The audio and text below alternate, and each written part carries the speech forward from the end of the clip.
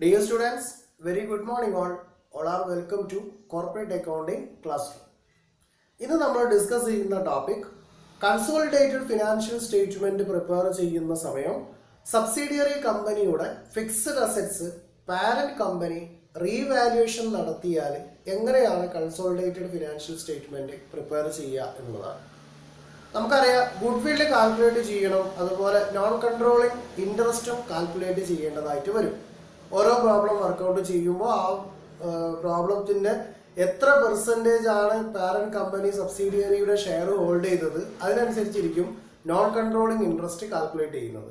Then consideration amount transfer ചെയ്തതും കമ്പനിയുടെ share hold ചെയ്തതിനെയും ഡിപ്പെൻഡ് ചെയ്തിട്ടാണ് ഗുഡ് വിൽ ആണോ അല്ലെങ്കിൽ ബാർഗെയിൻ പ്രൈസ് ആണോ എന്നുള്ളത് നമ്മൾ കാൽക്കുലേറ്റ് ചെയ്യുന്നത്.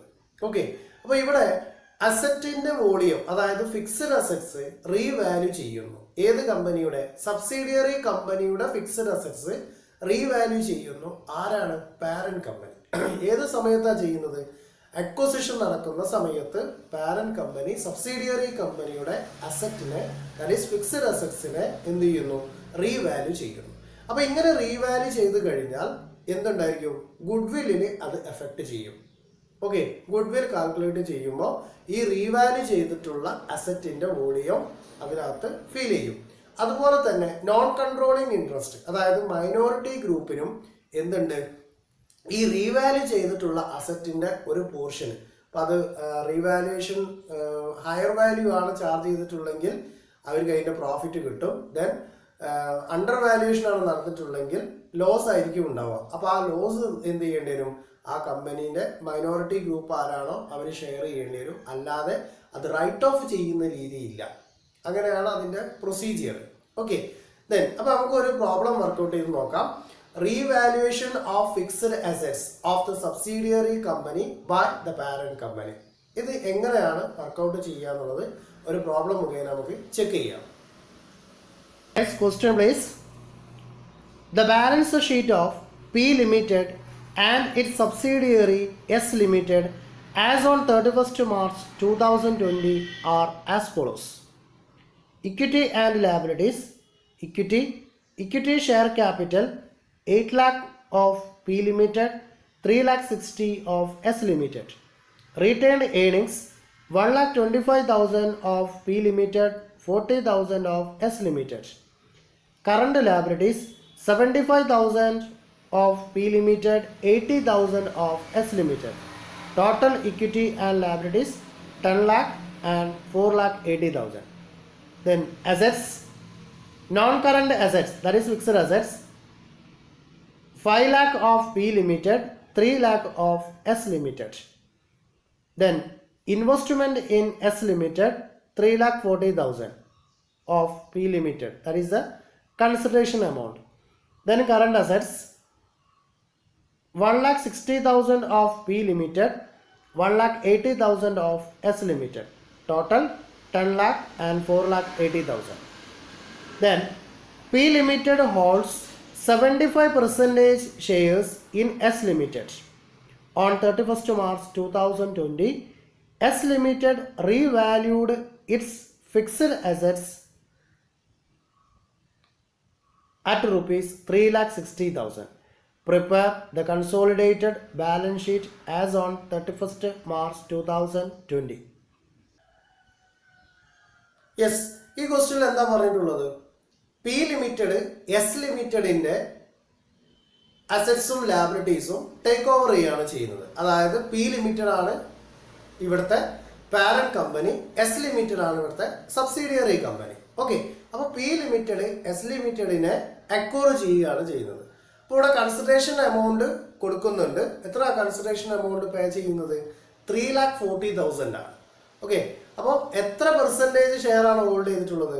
സെവന്റി ഫൈവ് പെർസെന്റേജ് അപ്പോൾ നമുക്കറിയാം സെവന്റി ഫൈവ് പെർസെന്റേജ് ഷെയർ മാത്രമേ സബ്സിഡിയറി കമ്പനിയുടേത് പാരന്റ് കമ്പനി ഹോൾഡ് ചെയ്തിട്ടുള്ളൂ എന്ന് പറഞ്ഞാൽ അവിടെ തന്നെ ഒരു ആൻസർ നമ്മൾ ഫൈൻഡ് ചെയ്യേണ്ടതുണ്ട്. അതായത് ട്വന്റി ഫൈവ് പെർസെന്റേജ് മൈനോറിറ്റി ഗ്രൂപ്പാണ് അതായത് നോൺ കൺട്രോളിംഗ് ഇൻട്രസ്റ്റ് അപ്പൊ ആ നോൺ കൺട്രോളിങ് ഇൻട്രസ്റ്റ് നമ്മൾ കാൽക്കുലേറ്റ് ചെയ്യണം. നമുക്കറിയാം എങ്ങനെയാണ് നോൺ കൺട്രോളിങ് ഇൻട്രസ്റ്റ് കാൽക്കുലേറ്റ് ചെയ്യുക? എത്ര ഷെയർ ആണോ ഷെയർ ക്യാപിറ്റൽ സ്ട്രെങ്ത് ആണോ സബ്സിഡിയറി കമ്പനിക്കുള്ളത് ആ സബ്സിഡിയറി കമ്പനിയുടെ റിമൈനിങ് പാർട്ട് അതായത് സെവന്റി ഫൈവ് പെർസെന്റേജ് ആര് ഹോൾഡ് ചെയ്യുന്നു? പാരന്റ് കമ്പനി ഹോൾഡ് ചെയ്യുന്നു. അപ്പോൾ ട്വന്റി ഫൈവ് പെർസെന്റേജ് അപ്പോൾ സബ്സിഡിയറി കമ്പനിയുടെ share capital into twenty five by hundred ഒരു part then retained earnings subsidiary കമ്പനിക്ക് റീറ്റേൺഡ് ഏണിങ്സ് ഉണ്ടാവുകയാണെങ്കിൽ ആ retained earnings amount into twenty five by hundred then revaluation of assets നമ്മൾ നേരത്തെ പറഞ്ഞു കഴിഞ്ഞു റീവാലുവേഷൻ നടത്തുന്ന സമയത്ത് മൈനോറിറ്റി ഗ്രൂപ്പിനും അല്ലെങ്കിൽ നോൺ കൺട്രോളിംഗ് ഇൻട്രസ്റ്റ് പാർട്ടിലും അതിന്റെ ഒരു ഷെയർ കിട്ടാൻ സാധ്യതയുണ്ട്. അപ്പോൾ ഇവിടെ എന്താ ചെയ്തിട്ടുള്ളത്? സബ്സിഡിയറി കമ്പനിയുടെ ഫിക്സഡ് അസറ്റ്സ് ബാലൻസ് ഷീറ്റിൽ തന്നിട്ടുള്ളത് ത്രീ ലാക്ക് ആണ്. പക്ഷെ റീവാലുവേഷൻ നടത്തിയിട്ടുള്ളത് എത്ര? ത്രീ ലാക്ക് സിക്സ്റ്റി ആണ്. അപ്പോൾ അവിടെ വാല്യൂ എന്ത് ചെയ്തേക്കാണ്? ഇൻക്രീസ് ചെയ്തേക്കാണ്. ത്രീ ലാക്കിൽ നിന്നും അത് ത്രീ ലാക്ക് സിക്സ്റ്റി ആയി. അപ്പോൾ ആ എക്സസ് എമൗണ്ട് എത്രയാണോ ഉണ്ടായിട്ടുള്ളത്? ആ എക്സസ് എമൗണ്ടിന്റെ ട്വന്റി ഫൈവ് പെർസെന്റേജ് ആർക്ക് കിട്ടും? നോൺ കൺട്രോളിംഗ് ഇൻട്രസ്റ്റ് ഗ്രൂപ്പിനും കിട്ടാൻ പോകുന്നുണ്ട്. അങ്ങനെയാണ് നോൺ കൺട്രോളിംഗ് ഇൻട്രസ്റ്റ് കാൽക്കുലേറ്റ് ചെയ്യുക. അപ്പോൾ നമുക്ക് ചെയ്തു നോക്കാം. ഓക്കെ ഹെഡിങ് കൊടുക്കുക calculation of calculation of calculation of non controlling interest non controlling interest എന്ത് ചെയ്യുന്നു? കാൽക്കുലേറ്റ് ചെയ്യുന്നു. നമുക്കറിയാം സബ്സിഡിയറി കമ്പനിയുടെ ഷെയർ ക്യാപിറ്റലിന്റെ വോളിയം എത്രയാണോ സബ്സിഡിയറി കമ്പനിയുടെ റിട്ടേൺ ഏണിങ്സ് എന്താണോ ദെൻ റീവാലുവേഷൻ നടത്തിയപ്പോൾ എക്സസ് ആയിട്ട് കിട്ടിയിട്ടുള്ള അസറ്റ്സിന്റെ വോളിയം അതിന്റെ ഈ മൈനോറിറ്റി പെർസെന്റേജ് ആണ് എല്ലായിടത്തും അപ്ലൈ ചെയ്യേണ്ടത്. Okay then value of value of twenty five percentage twenty five percentage അതായത് seventy five percentage parent company hold ചെയ്തു. അപ്പോൾ ട്വന്റി ഫൈവ് പെർസെന്റേജ് മാത്രമേ ഇനി എന്തുള്ളൂ? മൈനോറിറ്റി ഗ്രൂപ്പിന് ഉണ്ടാവും. Twenty five percentage share of share of S limited എത്രയാണ് S ലിമിറ്റഡിന്റെ share ക്യാപിറ്റലിന്റെ volume three lakh sixty thousand so three lakh sixty thousand into twenty five by hundred okay അപ്പോൾ three lakh sixty ഫൈവിന്റെ three lakh സിക്സ്റ്റീന്റെ fifty percentage എന്ന് പറഞ്ഞാൽ one lakh eighty ആണ്. അപ്പോൾ three lakh സിക്സ്റ്റീന്റെ ട്വന്റി ഫൈവ് പെർസെന്റേജ് എത്ര ആയിരിക്കും? Ninety thousand ninety thousand then retained earnings അതായത് share of retained earnings okay share in retained earnings of S limited എത്ര എസ് ലിമിറ്റഡിന്റെ റീറ്റെയിൽഡ് ഏണിങ്സ് എന്ന് പറയുന്നത്? Forty thousand okay forty thousand into twenty five by hundred forty തൗസൻഡിന് ഫോർട്ടീന്റെ fifty percent എന്ന് പറഞ്ഞാൽ twenty ആണ്. അപ്പോൾ ഫോർട്ടീന്റെ ട്വന്റി ഫൈവ് പെർസെന്റേജ് എന്ന് പറഞ്ഞാൽ ടെൻ ആയിരിക്കും. ഓക്കെ ടെൻ തൗസൻഡ് ഇപ്പോൾ ninety thousand and ten thousand ഇനി എന്താ പറഞ്ഞത്? മൈനോറിറ്റി ഗ്രൂപ്പിനും എന്ത് കിട്ടാൻ അർഹതയുണ്ട്? റീവാല്യൂ ചെയ്തിട്ടുള്ള അതായത് എക്സസ് വാല്യൂ എത്രയാണോ ആ വാല്യൂവിന്റെ ട്വന്റി ഫൈവ് പെർസെന്റേജും നോൺ കൺട്രോളിംഗ് ഇൻട്രസ്റ്റ് ആയിട്ട് ട്രീറ്റ് ചെയ്യാവുന്നതാണ്. അപ്പോൾ share in share in increase increase the value of value of fixed assets value of fixed asset എത്രയാണ് എക്സസ് ആയിട്ടുള്ളത്? അതായത് ത്രീ ലാക്കിൽ നിന്ന് എത്രയായി? ത്രീ ലാക്ക് സിക്സ്റ്റി തൗസൻഡ് ആയി. അപ്പോൾ എത്ര രൂപ എക്സസ് വന്നിട്ടുള്ളത്? Sixty thousand sixty thousand into twenty five by hundred സിക്സ്റ്റീന്റെ twenty five fifty percentage എന്ന് പറഞ്ഞാൽ തേർട്ടി ആണ്. ദെൻ സിക്സ്റ്റീന്റെ ട്വന്റി ഫൈവ് പെർസെന്റേജ് അപ്പോൾ എത്രയായിരിക്കും? Fifteen thousand okay fifteen thousand ഇതാണ് non controlling interest one lakh fifteen thousand clear ആണല്ലോ then എങ്ങനെ ഇനി നമുക്ക് നോൺ കൺട്രോളിങ് ഇൻട്രസ്റ്റ് കണ്ടുപിടിക്കാൻ മറ്റൊരു വഴിയും കൂടിയുണ്ട്. എങ്ങനെയാ കണ്ടുപിടിക്കുക? ടോട്ടൽ അസറ്റ്സ് എത്രയാണോ? Minus total liability of subsidiary company അങ്ങനെ ചെയ്തിരുന്നാലും വൺ ലാക്ക് വൺ ലാക്ക് ആണ് കറക്റ്റ് എമൗണ്ട് കിട്ടുക. ദെൻ ഇവിടെ എന്തുണ്ടാവും? ഈ പറയുന്ന sharing increase the value of fixed assets fixed അസറ്റിന് fifteen thousand കൂടി കിട്ടുന്നു. അപ്പോൾ ഓക്കെ എമൗണ്ട് എത്ര കിട്ടും? വൺ ലാക്ക് ഫിഫ്റ്റീൻ തൗസൻഡ് കിട്ടും. ഓക്കെ അപ്പോൾ നമ്മൾ non controlling interest amount find ചെയ്ത് കഴിഞ്ഞു. ഇനി നമുക്ക് എന്താ കണ്ടുപിടിക്കേണ്ടത്? ഗുഡ് വില്ലിന്റെ വാല്യൂ ആണ് കണ്ടുപിടിക്കേണ്ടത്. അപ്പോൾ നെഗറ്റീവ് ഗുഡ് വില്ലാണോ പോസിറ്റീവ് ഗുഡ് വില്ലാണോ എന്നുള്ളത് ഇനി ചെക്ക് ചെയ്യണം. അതായത് ഗെയിൻ ഓൺ ബാർഗെയിൻ പ്രൈസ് ആണോ അല്ലെങ്കിൽ ഗുഡ് വിൽ ആണോ എന്നുള്ളതാണ് നെക്സ്റ്റ് നമ്മൾ ഫൈൻഡ് ചെയ്യേണ്ടത്. ഓക്കെ അപ്പോൾ ഇത് ക്ലിയർ ആണല്ലോ? That means calculation of non controlling interest value of twenty five percentage shares of S limited three lakh sixty divided by hundred into twenty five ninety thousand share in return earnings forty thousand ആണ് twenty five by hundred ten thousand increase the value of fixed asset sixty thousand divide by twenty fifteen thousand total one lakh fifteen thousand ഇത് എവിടെ എഴുതേണ്ടത്? Consolidated balance sheet prepare ചെയ്യുമ്പോൾ നമുക്കറിയാം അതായത് capital കഴിഞ്ഞ് അതായത് reserve and surplus കഴിഞ്ഞാൽ non controlling interest ആണ് പിന്നെ എഴുതാനുള്ളത്. അതായത് ലോങ് ടേം ലാബിലിറ്റീന്റെ പാർട്ടിലാണ് ഈ പറയുന്ന നോൺ കൺട്രോളിങ് ഇൻട്രസ്റ്റ് നമ്മൾ ട്രീറ്റ് ചെയ്ത് കൊടുക്കുക ക്ലിയർ ആണ്? ഇനി നമുക്ക് എന്ത് ചെയ്യാം? ഗുഡ് വിൽ കാൽക്കുലേറ്റ് ചെയ്യാം. Calculation of goodwill calculation of calculation of good goodwill. ഇപ്പൊ ചെക്ക് ചെയ്യേണ്ടത് കൺസിഡറേഷൻ എമൗണ്ട് എത്രയാണോ കൊടുത്തിട്ടുള്ളത് എന്നുള്ളത് വെരിഫൈ ചെയ്യുക. എത്ര കൺസിഡറേഷൻ എമൗണ്ട് കൊടുത്തിട്ടുള്ളത്? Three lakh forty thousand okay ഈ ക്വസ്റ്റ്യനകത്ത് മൂന്ന് ലക്ഷത്തി നാൽപ്പതിനായിരം രൂപയാണ് പി ലിമിറ്റഡ് എസ് ലിമിറ്റഡിന് വേണ്ടിയിട്ട് കൊടുത്തിട്ടുള്ളത്. അതായത് കമ്പനിയുടെ ഷെയർ ടേക്ക് ഓവർ ചെയ്യുന്നതിന്റെ ഭാഗമായി മൂന്ന് ലക്ഷത്തി നാൽപ്പതിനായിരം രൂപ കൊടുത്തിട്ടുണ്ട്. ഇനി എന്തെല്ലാമാണ് നമ്മൾ കൺസിഡർ ചെയ്യേണ്ടത്? ദെൻ ഇപ്പോൾ twenty five percentage non controlling interest ആണ്. അപ്പോൾ സെവന്റി ഫൈവ് പെർസെന്റേജ് എന്തായിരിക്കും? ഈ അക്വേർഡ് കമ്പനിയുടെ അതായത് പാരന്റ് കമ്പനിക്ക് കിട്ടുന്ന ബെനിഫിറ്റ് ആണ്. അപ്പോൾ ആ അതിനെ ബേസ് ചെയ്തിട്ടാണ് ഗുഡ്വിൽ ആണോ അല്ലേ എന്നുള്ളത് ചെക്ക് ചെയ്യാം okay consideration amount paid consideration consideration amount paid that is parent company subsidiary കമ്പനിക്ക് കൊടുക്കുന്നതാണ് ത്രീ ലാക്ക് ഫോർട്ടി തൗസൻഡ് മൂന്ന് ലക്ഷത്തി നാൽപ്പതിനായിരം രൂപ കൺസിഡറേഷൻ എമൗണ്ട് കൊടുത്തിട്ടുണ്ട്. ഇനി എന്ത് ചെയ്യുന്നു? Paid up value of shares acquired ഇത് എന്ത് ചെയ്യാനുള്ളതാണ്? Less ചെയ്യാനുള്ളതാണ്. Okay less paid up value of paid up value of shares acquired shares acquired paid up value of shares acquired എത്ര സബ്സിഡിയറി കമ്പനിയുടെ ഷെയർ ക്യാപിറ്റലിന്റെ വോളി എത്ര? Three lakh sixty thousand into എത്ര പെർസെന്റേജാ seventy five percentage divided by hundred okay അതായത് twenty five percentage non controlling interest ആണ് അപ്പോൾ remaining ആയിട്ടുള്ള seventy five percentage controlling interest ആണ്. അപ്പോൾ എത്ര വരും?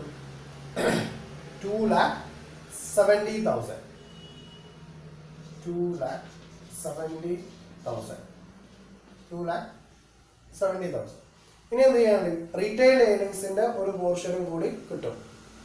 That is pre acquisition profit pre acquisition പ്രോഫിറ്റും കൂടി നമ്മൾ എന്ത് ചെയ്യണം? അതിന്റെ ഒരു പോർഷനും കൂടി കൊടുക്കണം. Share pre acquisition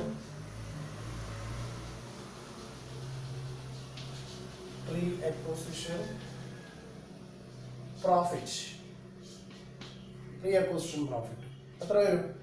എത്രയാണ് നമ്മുടെ ക്വസ്റ്റ്യൻ തന്നിട്ടുള്ള എമൗണ്ട് ഫോർട്ടി തൗസൻഡ് ഓക്കെ അപ്പോൾ forty thousand into seventy five by hundred അതായത് നാൽപ്പതിനായിരം രൂപ റീറ്റെയിൻ ഏണിങ്സ് എന്ന് പറഞ്ഞാൽ നമുക്ക് ക്വസ്റ്റ്യൻ തന്നിട്ടുണ്ട്. അതിന്റെ സെവന്റി ഫൈവ് പെർസെന്റേജ് എന്നുള്ളതാണ് പാരന്റ് കമ്പനിക്ക് ട്രീറ്റ് ചെയ്ത് പോകാനുള്ളതാണ്. അപ്പോൾ സെവന്റി ഫൈവ് പെർസെന്റേജ് എന്ന് പറയുമ്പോൾ തേർട്ടി തൗസൻഡ് ഓക്കെ എട്ടും രണ്ടും തേർട്ടി തൗസൻഡ് ക്ലിയർ ആണല്ലോ? Then, ഇനി എന്തുണ്ട്? ഈ റിവാലുവേഷൻ നടത്തിയപ്പോൾ വാല്യൂ എക്സസ് ആയിട്ടുള്ള ഫിക്സഡ് അസറ്റ്സിന്റെ ഒരു പോർഷനും കൂടി ആർക്ക് കിട്ടാൻ പോകുന്നുണ്ട്? ഈ പാരന്റ് കമ്പനിക്ക് കിട്ടാൻ പോകുന്നുണ്ട്. എക്സസ് ആയിട്ടുള്ള എമൗണ്ട് ഓക്കെ അപ്പോൾ അതുകൂടി ഇതിനകത്ത് എന്ത് ചെയ്യണം? ട്രീറ്റ് ചെയ്യണം. Share in increase the value of share in increase increase the value of fixed assets fixed assets എത്ര? എക്സസ് ആയിട്ടുള്ളത് സിക്സ്റ്റി തൗസൻഡ് ആണ് so sixty thousand into seventy five by hundred sixty തൗസൻഡിന്റെ fifty percentage എന്ന് പറഞ്ഞാൽ നമുക്കറിയാം എത്ര? Thirty thousand ആണ്. എന്ന് പറഞ്ഞാൽ ഇതിന്റെ ഫിഫ്റ്റി പെർസെന്റേജ് തൗസൻഡ് ആണ്. അപ്പോൾ ഇതിന്റെ ട്വന്റി ഫൈവ് പെർസെന്റേജ് എന്ന് പറഞ്ഞാൽ ഫിഫ്റ്റീൻ ആണ്. അപ്പോൾ ഇതിൽ get forty five thousand okay forty five thousand ഇനി ഇവിടെ ശ്രദ്ധിക്കേണ്ടത് ഇവിടെ പ്രീ അക്വസിഷൻ പ്രോഫിറ്റ് ആയതുകൊണ്ടാണ് ഇതിന്റെ കൂടെ എന്ത് ചെയ്തത്?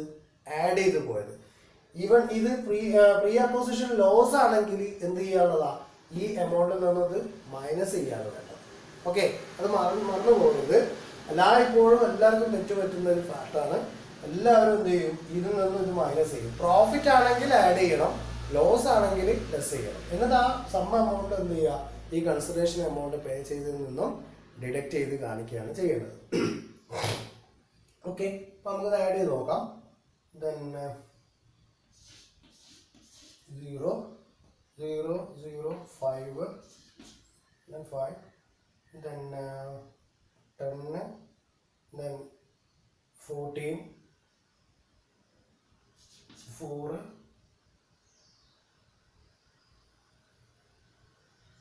then remaining one, then three. Three lakh forty five thousand consideration amount കൊടുത്തിട്ടുള്ളത് ത്രീ ലാക്ക് ഫോർട്ടി പക്ഷേ ഇതിന്റെ കൊടുക്കേണ്ടിയിരുന്ന amount three lakh forty five thousand ആണ് അപ്പോൾ ഗെയിൻ ഓൺ പർച്ചേസ് പ്രൈസ് അല്ലെങ്കിൽ bargain price okay gain on bargain price rupees five thousand gain on bargain price rupees five thousand അപ്പോൾ five thousand rupees bargain price ആയിട്ടാണ് treat ചെയ്ത് പോകുന്നത് okay അപ്പോൾ good will ആണെങ്കിൽ എന്ത് ചെയ്യുന്നു? ഇതിപ്പോൾ നെഗറ്റീവ് ഗുഡ് വില്ലാണ് കിട്ടിയത്. കാരണം ഇവിടെ കൊടുത്തിട്ടുള്ള എമൗണ്ട് മൂന്ന് ലക്ഷത്തി നാൽപ്പതിനായിരം രൂപയാണ്. കൊടുക്കേണ്ടിയിരുന്നത് മൂന്ന് ലക്ഷത്തി നാൽപ്പത്തി അയ്യായിരം രൂപയാണ്. അപ്പോൾ അയ്യായിരം രൂപ ബാർഗെയിൻ പ്രൈസിൽ കിട്ടിയിട്ടുള്ള ഗെയിൻ ആണ്. അപ്പോൾ ഈ ഗെയിൻ എമൗണ്ട് എവിടെ നമ്മൾ ട്രീറ്റ് ചെയ്യുക നമുക്കറിയാം ബാലൻസ് ഷീറ്റിനകത്ത് സർപ്ലസ് റിസർവ് സർപ്ലസ് എന്ന് പറയുന്ന ഹെഡിന്റെ താഴെയാണ്. ഇത് ആണോ കമ്പനിക്ക് കിട്ടിയിട്ടുള്ള ബെനിഫിറ്റ് അല്ലേ? അപ്പോൾ ആ ബെനിഫിറ്റ് എമൗണ്ട് ഫൈവ് തൗസൻഡ് എന്ത് ചെയ്യുന്നു? ഷെയർ ക്യാപിറ്റലിൽ വർക്കൗട്ട് ചെയ്ത് റീറ്റെയിൽ ഏണിങ്സ് എഴുതിയതിന്റെ താഴെ എന്ത് ചെയ്യാം ഗെയിൻ ഓൺ ബാർഗെയിൻ പ്രൈസ് എന്ന് പറഞ്ഞുകൊണ്ട് ഇത് ട്രീറ്റ് ചെയ്യും ഓക്കെ ഇനി നമുക്ക് കൺസോളിഡേറ്റഡ് ബാലൻസ് ഷീറ്റ് പ്രിപ്പയർ ചെയ്യാം. അപ്പോൾ ഹെഡിങ് കൊടുക്കുക. കൺസോളിഡേറ്റഡ് ബാലൻസ് ഷീറ്റ് ഒരു ഇന്നർ കോളം ഒരു ഔട്ടർ കോളം കൊടുക്കാം. Then first heading equity and liabilities equity and liabilities equity and liabilities. Then equity, share capital, share capital അതായത് limit parent കമ്പനിയുടെ share capital കൂടിയാണ് നമ്മൾ എഴുതേണ്ടി വരിക. എത്ര പാരന്റ് കമ്പനിയുടെ share capital eight lakh okay then return earnings return earnings parent കമ്പനിയുടെ return earnings amount one lakh twenty five thousand one lakh twenty five thousand then ഇപ്പോൾ റിട്ടേൺ ഏണിങ്സ് ആയി അതായത് reserve and surplus then share capital ഇനിയാണ് ഇവിടെ എന്ത് ചെയ്യുന്നത്? Bargain അതായത് gain on bargain purchase gain on bargain purchase gain on bargain purchase നമുക്ക് എത്ര കിട്ടിയത്? Five thousand gain on bargain price rupees five thousand okay then ഇനി കറണ്ട് ലാബിലിറ്റീസ് അതുപോലെ നോൺ കൺട്രോളിങ് ഇൻട്രസ്റ്റ് ഉണ്ട്. ഓക്കെ അപ്പോൾ ആ നോൺ കൺട്രോളിങ് ഇൻട്രസ്റ്റ് നമ്മൾ എന്ത് ചെയ്യണം? ഇവിടെ ട്വീറ്റ് ചെയ്തു പോകും. Non controlling interest non controlling interest എത്ര നമുക്ക് non controlling interest amount find ചെയ്ത് കിട്ടിയിട്ടുള്ളത്? എത്ര?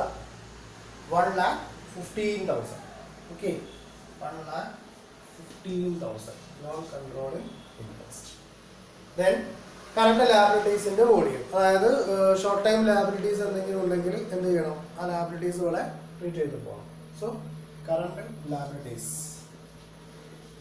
current liabilities current liabilities ഏതൊക്കെ കമ്പനിയുടെ എഴുതണം പാരന്റ് കമ്പനിയുടേതും അതുപോലെ സബ്സിഡിയറി കമ്പനിയുടേതും പാരന്റ് കമ്പനിയുടെ കറണ്ട് ലാബിലിറ്റീസിന്റെ കൂടി എത്രയാണ്? Seventy five thousand then subsidiary കമ്പനിന്റെത് eighty thousand so seventy five thousand and eighty five thousand ആ നമുക്കവിടെ റൈറ്റ് ചെയ്യാം അല്ലേ? Seventy five തൗസൻഡും eighty thousand one lakh fifty five thousand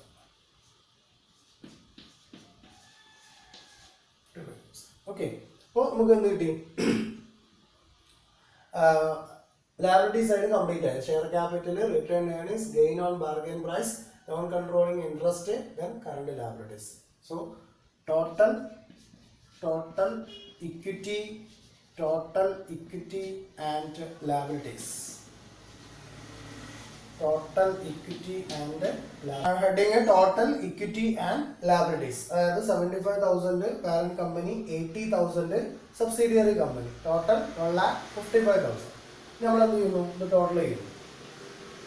Zero ten fifteen twenty zero then remaining 2 7 8 8 plus 2 10 then 0 remaining 1 then uh, 3 4 12 12 lakh okay 12 ഇനി എന്ത് ചെയ്യണം? Assets heading കൊടുക്കുക. Assets then fixed assets fixed assets അഥവാ non current assets fixed assets അപ്പോൾ fixed assets parent കമ്പനിയുടെ അസറ്റും വേണം. Subsidiary കമ്പനിയുടെ അസറ്റും വേണം. അപ്പോൾ പാരന്റ് കമ്പനിയുടെ ടോട്ടൽ അസറ്റ് എന്ന് പറയുന്നത് എത്ര ഫിക്സഡ് അസറ്റ്സ് എന്ന് പറയുന്നത് ഫൈവ് ലാക്ക് ആണ്. ഓക്കെ നമുക്കറിയാം പാരന്റ് കമ്പനിയുടെ ഫിക്സഡ് അസറ്റ് ഫൈവ് ലാക്ക് ആണ്. ദെൻ സബ്സിഡിയറി കമ്പനിയുടെ നേരത്തെ എത്ര ഉണ്ടായിരുന്നത് ത്രീ ലാക്ക് ആണ്. ഇപ്പോൾ റീവാലുവേഷൻ നടത്തിയപ്പോൾ എത്രയായി? ത്രീ ലാക്ക് സിക്സ്റ്റി തൗസൻഡ് ആയി. ഓക്കെ അപ്പോൾ eight lakh sixty thousand eight lakh sixty thousand non current assets then current assets current assets എത്ര? കറണ്ട് അസറ്റ്സിന്റെ വോളിയം കറണ്ട് അസറ്റ്സ് പാരന്റ് കമ്പനിയുടേതും സബ്സിഡിയറി കമ്പനിയുടെ parent കമ്പനിയുടേത് one lakh sixty subsidiary one lakh eighty okay one lakh sixty thousand plus one lakh eighty thousand then two lakh forty thousand three lakh forty thousand three lakh forty thousand total zero twelve lakh. Okay അപ്പൊ ഇങ്ങനെയാണ് revaluation process fixed അസറ്റ്സിന്റെ മേലെ acquisition ടൈമിൽ parent company subsidiary കമ്പനിയുടെ fixed asset revaluation ചെയ്യുന്ന സമയം consolidated balance sheet prepare ചെയ്യും is clear thank U